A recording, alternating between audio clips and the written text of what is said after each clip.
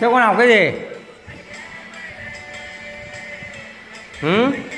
con học cái an khánh phu. Khánh phu mẹ nộp hồ sơ rồi. À cái an mẹ nộp hồ sơ rồi. Hả? Sao? Đấy là cô Hoa bây giờ cô ấy bảo bố đây là là, là, là muốn con về khánh phú học con có học không? Hả? Không. Làm sao? Làm sao con không học đây vì sao con không học ở đây? Học ở đây cũng môi trường không tốt mà.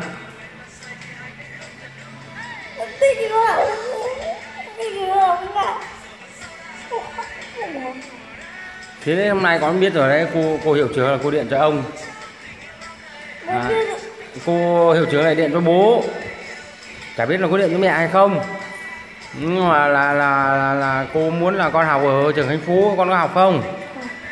Con nhất định con không học đúng không? Con muốn học ở Khánh An đúng không? Thế vì sao con học muốn ở Khánh An? Con nói cho bố thế nào.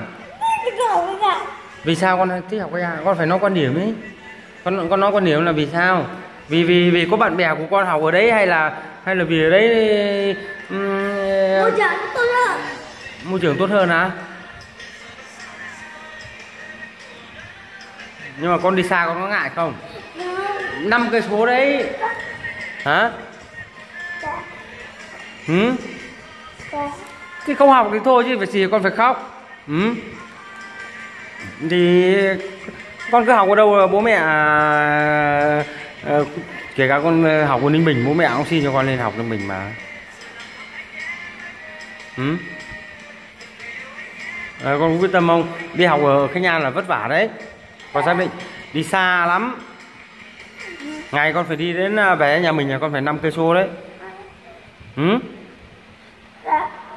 ừ.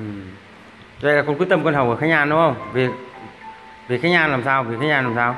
Vì sao mà con học ở đây khánh an? Hả? Hả? Vì sao con thích học ở khánh an? Có phải vì có nhiều bạn bè thân của con học không?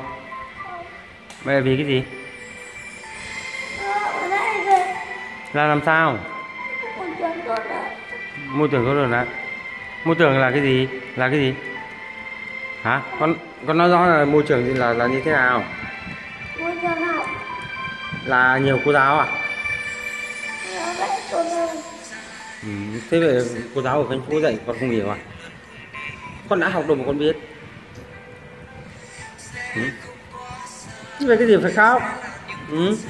Con không thích con không thích con không thích học ở khánh phú thì bố xin cho con ở khánh an này hả? Sao con phải phải khóc